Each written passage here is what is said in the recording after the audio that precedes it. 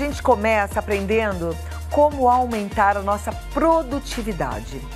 Muita gente sente a necessidade de buscar uma fórmula mágica para fazer cada vez mais em menos tempo, né? Tem horas que a gente fala, ai, se eu pudesse esticar o tempo. Se é o seu caso, se você anda desanimado pensando por que você não consegue desenvolver tanto quanto outras pessoas, calma porque a minha convidada de hoje vai ajudar a mudar essa realidade, te ensinando a desenvolver a sua produtividade e, é claro, também aumentar e desenvolver a sua renda financeira. Ela é psicóloga e ilusionista premiada como melhor mágica feminina da América Latina. É autora dos livros Pílulas Mágicas para o Sucesso e Motivação Sem Truques. Seja bem-vinda, Meire Mia. Que honra, gente! A honra é minha! Prazer. Um prazer enorme te receber. Sou sua fã. Ai, obrigadíssima. Você eu também, muito fã Tem sua. feito diferença na vida de tanta gente. Ai, obrigada. E que trabalho lindo. Vamos sentar aqui. Vamos lá. Misturar mágica com... Isso, com psicologia. Psicologia, incentivando as pessoas a terem uma vida cada vez melhor. Isso é lindo. Parabéns, é verdade, viu? é verdade. E você também, né? Você é uma inspiração. É um, é um bom propósito de Isso. vida, né? Que me faz feliz também. E hoje em dia, é uma, é, essas habilidades pessoais, a psicologia, ela tá meio que em alta, vamos dizer assim, né? Porque tá todo mundo percebendo que a tecnologia, ela facilitou a nossa vida. A gente consegue falar com muito mais facilidade, rapidez. A gente tem transporte para tudo quanto é lugar. Eu me lembro que meu pai falava que ele tinha que andar muitos quilômetros para ele poder estudar. Hoje em dia é muito mais fácil. Então, quer dizer, tudo ficou facilitado, mas hoje nós temos um grande desafio, nós seres humanos. Então, assim, não tem mais desculpa para sair da zoninha de conforto.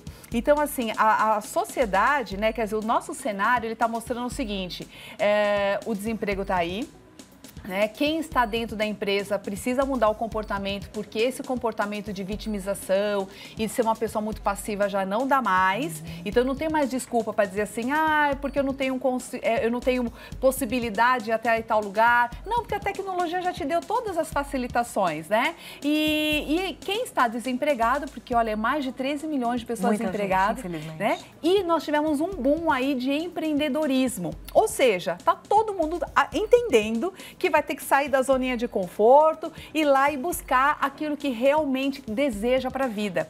Agora, tem a parte boa, tem gente que acha que isso é um castigo, né, Cláudia? Mas, na verdade, se superar é a melhor forma de você se, se fazer feliz. Uhum. Você sabe que as luzinhas das as áreas da felicidade, elas se acendem quando a gente se supera. Então, às vezes, a vida traz uma, uma situação difícil, que às vezes a gente não gosta, mas quando a gente passa por essa situação e vê o quanto você conquistou, o quanto você cresceu como pessoa, você olha para trás e fala assim: nossa, ainda bem que apareceu aquela situação difícil e eu pude me superar. Uhum. Então, esse é o papel da psicologia também. É, é, dizer qual é o melhor caminho, às vezes, né? E não ficar lá na. na, sabe aqueles ciclos de autossabotagem? Porque a vitimização faz isso, ela aprisiona a pessoa num, numa prisão psicológica, ela erra o, o mesmo erro várias vezes e ela não consegue sair dali porque ela está com dó de si mesma. Então, é, eu trago sempre nos meus livros é, essa visão diferenciada para a pessoa conseguir enxergar oportunidades e deixar de ser parte do problema. Porque a partir do momento que você começa só a reclamar, aí você não anda para frente. Uhum. Você fica preso numa situação que você já conhece e a situação é ruim, não é verdade? E olha só, eu levo esse conhecimento para as empresas, unindo a psicologia e a mágica. E aí eu trouxe algumas coisas aqui diferentes para a gente poder falar sobre o assunto. Maravilha, a gente quer aprender mesmo, na verdade não é só aprender, é enraizar esse aprendizado, né? Isso. né? E o que eu vejo é que muitas vezes a gente até sabe e não consegue colocar em prática. Exato. Dessa esse forma, é o eu acho problema. que vai ficar mais fácil. Esse é o problema. Nosso problema hoje não é informação, porque a gente tem a internet que tem informação de tudo quanto é coisa que uhum. você quiser. Agora, o nosso grande desafio como seres humanos é a gente colocar em prática. E às vezes é difícil, porque eu digo assim, lapidar caráter, porque tem a ver com isso. Né? Se tornar disciplinado, organizado, ético, crescer de uma forma ética. Não é fácil, é um desafio, é um desafio. porque você às vezes tem que cortar na carne aquela preguiça que você tem de todos os dias para ir até a academia e fazer sua ginástica. Verdade, verdade. Não é? Hoje eu tava lá frio a beça, comecei a pedalar, falei, ai meu Deus, isso, isso aqui é disciplina, né? Isso. Mas tem que fazer. Tem que fazer. Não tem jeito, não é negociável. Cinco né? da manhã também eu lá. Eu, eu falo para as meninas em casa que não é uma escolha, é igual escovar dente, toma banho. Não isso. tem, desculpa, tem que fazer. Não tem, tem que jeito. fazer, disciplina, né? é isso mesmo. Disciplina. Então, olha só, eu tenho aqui então duas bolinhas. Uma bolinha representa as competências técnicas. O que é competência técnica, gente? É tudo, todo aquele conhecimento que você adquiriu através de cursos. Então, graduação, pós-graduação, idiomas, tudo isso uhum. vai representar essa bolinha aqui. Esta outra bolinha, Cláudia, vão representar as competências comportamentais, que é, é, produtividade, a capacidade de trabalhar em equipe, capacidade de comunicação, motivação, tudo isso são coisas comportamentais. Então, uma bolinha simboliza competência técnica e a outra bolinha comportamental. Esco me aponta uma das bolinhas, Cláudia. Qualquer uma? Qualquer então, uma, me essa aponta. que está mais pertinho. Essa, perfeito.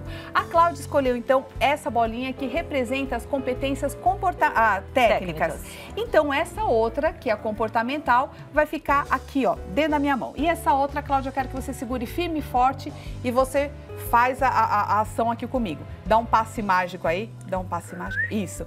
A Cláudia, então, pessoal, escolheu a bolinha que representa a técnica. Mas para que haja sucesso, é muito importante que a gente tenha sempre Uau. as duas juntas. Pode abrir a mão? Cadê a bolinha que estava na sua mão? pode abrir a mão, pode abrir, abrir a, a minha. Aí, olha só, as duas têm Gente, que fazer a minha parte. mão ficou fechada o tempo todo, eu sei. Bacana, né? E cadê a que tava aí? Tá aqui? Tá aí. Olha só, gente, com isso eu quero mostrar para vocês o seguinte. Tem um cara, um psicólogo chamado Daniel Goleman. Ele escreveu um livro chamado é, Inteligência Emocional e ele fez uma pesquisa nas empresas e ele percebeu que o cargo mais baixo da empresa, ele trabalha com dois terços de competência comportamental e apenas um um terço competência técnica. Ou seja, o, o, RH, quando te contrata, contrata olhando competência técnica, que são os cursos que você coloca no currículo. Mas muitas vezes as pessoas são demitidas por falta de competência comportamental.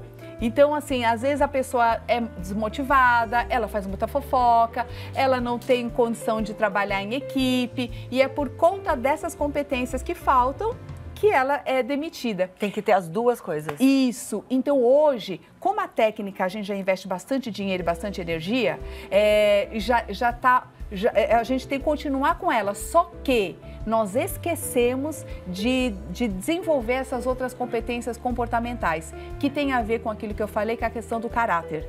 Ela tem a ver também com os nossos valores, porque aquilo que você falou da disciplina, que é fazer uma ginástica todos os dias, é você vencer a tua preguiça todos os dias. Então, quando a gente fala hoje que nossa população, mais 50% já está obesa, é, nós estamos falando de gula, uhum. né? Então, você, você superar a tua gula e você ir, é, você fazer uma dieta saudável, uhum. né? Agora eu quero fazer uma outra para falar sobre. Mas antes, ó, esse aqui, gente, aqui é o livro, o Pílulas Mágicas Pílulas para Mágicas para Sucesso. Tem é um aqui várias livros, né? dicas, uhum. isso, sobre produtividade no trabalho, como você sai de ciclos é, de, de autossabotagem. E a gente pode sortear aqui para o pessoal que coisa que tá boa! a gente. Que então vamos acha? fazer o seguinte, eu acho ótimo, acho importante. Legal. Mas aí vamos fazer o mesmo esqueminha de, de sempre, o vídeo, né? Manda um vídeo pro nosso WhatsApp 11 9 50 45 18 40. O que, que a gente pede para a turma falar o quê?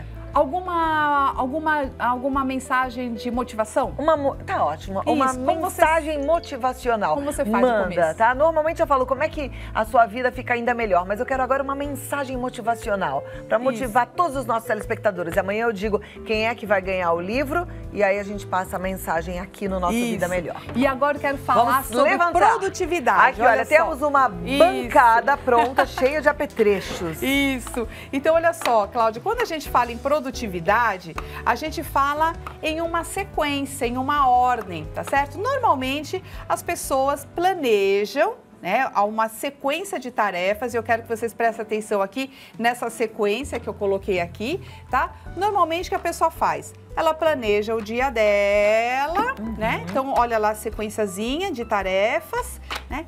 Mas normalmente, olha só o resultado que ela tem totalmente invertido. Olha aí. E tem gente, Cláudia, que faz isso na vida, né? Então, por exemplo, a pessoa, é, ela pega, sabe no começo do ano? Tem gente que faz planos no começo do ano, não tem? Sim, nossa, e como a gente Isso. faz, né? E a gente fala lá, vou trocar de carro, vou economizar dinheiro, mas gasta na primeira bolsa, né? Vou é, fazer minha dieta, vou para minha academia, faz uma série de planos, até desenha aqueles quadros bonitos, tal, né? E acaba no final, olha só, coloquei aqui mais uma vez a sequência, tá vendo? Ó, tá? Mas aí no final sai tudo Inverteu. ao contrário.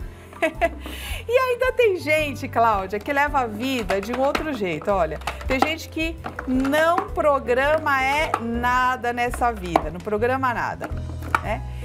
Olha aí, não programa nada, uhum. né? E por sorte, leva a vida desse jeito, ó. Por sorte, consegue tudo em ordem, consegue tudo. Uma, um resultado. É verdade. Mas não é isso que a gente quer. O que, que a gente quer?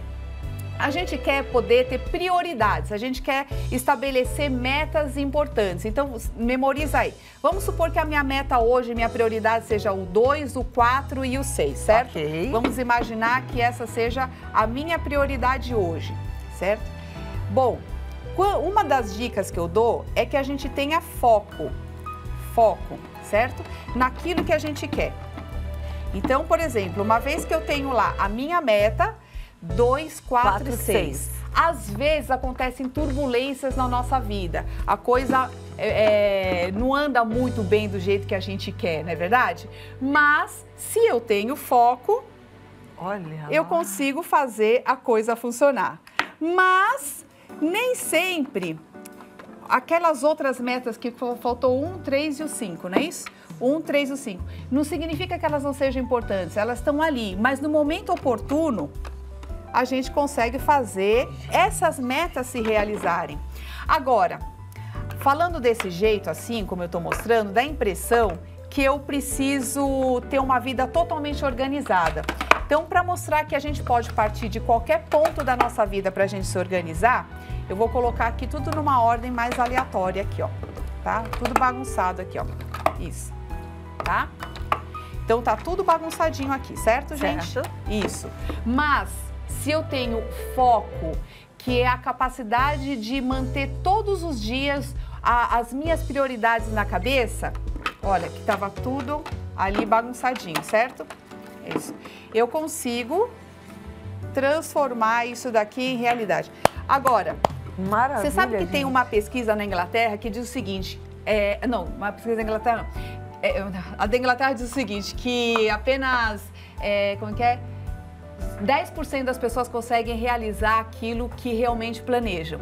E tem um outro cara que tem uma regrinha chamada regrinha de Pareto, que ele diz que 20% apenas das ações que você faz no dia realmente são importantes para a sua produtividade final. Ou por seja, exemplo, a gente faz um monte de coisa que não precisava. Isso, então quem vende, por exemplo, acaba é, por exemplo, prospectar, que é ligar para o cliente, é a parte mais importante. Mas o uhum. que a pessoa faz? Por medo de falar com o cliente, ele empurra com a barriga, faz um monte de coisa e no final não vendeu, uhum. porque tem medo de... De prospectar. Isso. Cláudia, eu quero que você, então, agora monte para mim uma sequência aí aleatória, tá? Sem olhar? É sem olhar. Tá. Porque vai ser a sua meta. Isso, vamos trabalhar com a meta da Cláudia. Isto. Ótimo. Perfeito. Então eu já falei o seguinte: primeira coisa que a gente tem que fazer é saber o que quer. Então você estabeleceu aí uma meta. Essa uhum. é a meta da Cláudia, tá, pessoal? Tá? Segunda coisa que eu falei é você saber escolher quais são as tarefas que realmente fazem diferença no seu dia a dia, tá? E terceiro lugar, a gente tem que trabalhar a força de vontade. Para quem não sabe, a força de vontade, ela fica numa área do cérebro, que é essa área aqui, tá? Que você precisa exercitar todos os dias igual músculo. Quanto mais você fortalece o músculo, mais forte ele fica. Força de vontade é igual. Quanto mais você vence a tua preguiça, a tua agulha e tudo mais, mesmo que seja, está com a louça suja na pia e tem preguiça de levantar, se você se forçar a levantar todo dia, essa mesma força de vontade pode ser usada quando você precisa economizar dinheiro, por exemplo. Uhum. Você, você aguenta segurar e não comprar aquela blusa. Então, olha só, tenho meu foco ali, que são as metas que a Cláudia colocou. Tenho aqui minha vida toda bagunçada, mas se eu tenho foco, disciplina e tudo mais, eu consigo transformar tudo isso Colocou daqui tudo em, ordem. em realidade. Olha só, transformando a meta em realidade. Ótimo, gostou, Cláudia? Muito bem, eu Boa, vou te falar. Né? A gente vai se encantando com a mágica e vai aprendendo Isso. sobre a vida. Né? Que na verdade não tem uma fórmula mágica, mas tem que ter muita disciplina, muita determinação, disciplina. força de vontade. Né? Isso. Né? Então você vê, né? A gente não precisa exatamente trabalhar a, a, por exemplo, no caso da prospecção, se você vende produtos para suas amigas, você não precisa treinar especificamente na venda. Você pode treinar esse seu medo de falar com as pessoas numa festa. Você está numa fila de banco, conversa com quem está atrás sabe? Você vai treinando essa habilidade de se comunicar e o medo, tirando o medo de conversar com as pessoas em outras áreas da vida. Porque é. É, é treino, né? É gente? treino. Olha lá que beleza. que você treinar precisar, em tá situações que não te comprometam, que não te deixam tão nervosa. Bacana, gostei da dica. Vamos treinar. Isso. Vai ter papo no elevador. Exato. Cumprimenta as pessoas, uhum. sabe? Fala bom dia. Entrou no elevador, não faz assim, né? Tem gente que faz isso. Perde a né? oportunidade, né? Eu acho essa troca tão saudável, tão e perde a oportunidade de ser, ser feliz, né? ser, feliz. ser amada, de doar um pouco de si, né? Isso. E agora, gente, olha só, eu trouxe uma, uma coisa que com dinheiro, porque todo mundo que fala em produtividade quer ganhar dinheiro. E tempo hoje é dinheiro. Só que o dinheiro, Cláudia, ele é um, é um resultado de quatro pilares. O primeiro pilar aqui, representado por essa nota de 10 reais aqui, gente, é o pilar do conhecimento técnico, que é aquilo que a gente falou. Tá. Tem que fazer, tem que curso, fazer cursos e tem que estudar né? o resto da vida. Tem gente que não tem nenhum livro em casa. Uhum. Ah, bom, segundo pilar é o pilar da inteligência emocional. Você tem que tra trabalhar a sua força de vontade, disciplina, tudo isso que a gente falou agora. O terceiro pilar é o pilar físico. Tem que cuidar do teu corpo físico, porque senão você não consegue colocar a tua missão de vida em, em prática, né? Um corpo que não funciona, cheio de doença, não tem condição. E por último, o pilar espiritual lapidar o seu caráter, ser mais ético, ser mais honesto, crescer sem puxar o tapete do outro. Isso é muito importante para nós. Quando você tem todos esses pilares, olha só, a gente consegue fazer uma boa transformação. Tá vendo aqui? Um, dois, três. Uh, olha só. Opa! E aqui a gente consegue fazer a transformação do dinheiro. Você e eu tô aqui do lado dela e eu tô vendo que ela faz essa mágica. O Rodrigo deu uma ideia, a gente vai entregar o salário na tua Isso. mão a partir de agora.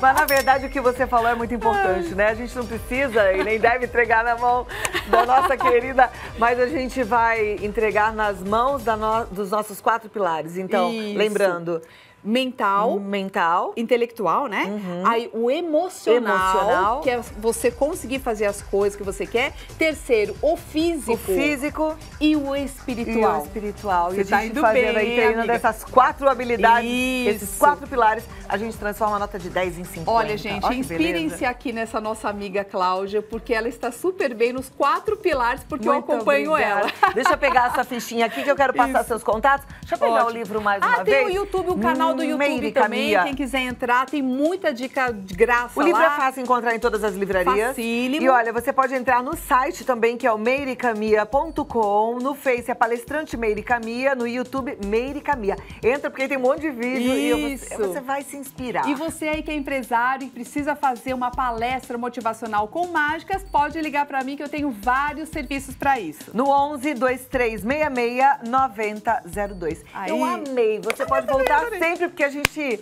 vai aprender bastante com você. E o mais Obrigada. importante, a gente aprendeu, coloca em prática. Isso, obrigadíssima. Até mais. Até a próxima. Até, obrigada.